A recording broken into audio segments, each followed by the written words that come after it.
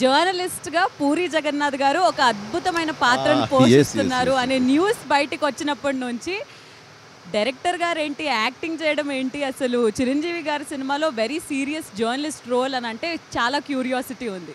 So puri గారి గురించి మీ మాటల్లో సార్ ఇందులో ఒక యూట్యూబర్ క్యారెక్టర్ ఉంది. తను చెప్పాలంటే డైరెక్టర్స్ వాయిస్ అంటే జరుగుతున్న స్టోరీని ఒక నెరేటివ్గా ఎవరో ఒక నెరేట్ చేయాలి.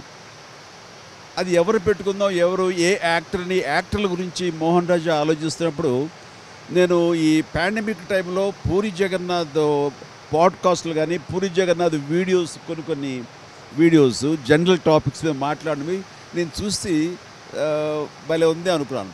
ఎప్పుడైతే అదే యూట్యూబర్ క్యారెక్టర్ మన సినిమాలో ఉండేసరికి నాకు అనిపించింది రాజా మనం ఎందుకు పూరి జగన్నాథ్ని పెట్టుకోకూడదని?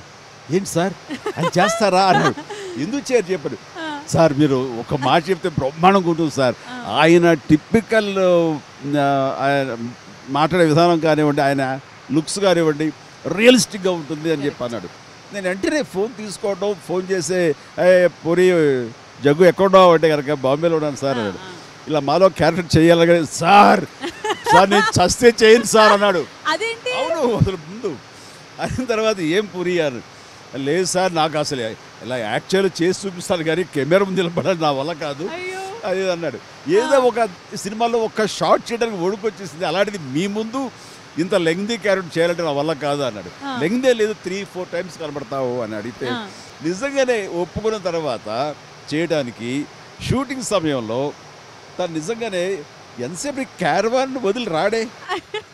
పూరి అక్కడ వెయిటింగ్ హీరో అంటే వస్తున్నారు ఇది వస్తున్నారు వస్తున్నారు అంటూ తన స్టైల్లో ఇది కాల్ చేసుకుంటూ టీలు తాగుతూ నెమ్మది దిగొచ్చాడు. చార్మి వచ్చింది. ఏంటి చార్మి అంటే ఆయన అసలు షివరైపోతున్నాడు ఎందుకు నాకు ఈ పరీక్ష నాకు అవసరమా. వచ్చిన తర్వాత చేసాడు ఆ. ఎంత న్యాచురల్ ఉంటుందంటే అతనిలో ఇంత న్యాచురల్ ఇంత కమాండ్గా ఉన్న నటుడు ఉన్నాడని మీరే ఆశ్చర్యపోతారు. ఆ క్యారెక్టర్ మేము ఏమనుకున్నామో దాన్ని హండ్రెడ్ పర్సెంట్ జస్టిఫై చేశాడు Puri Jagannadh. Super super. So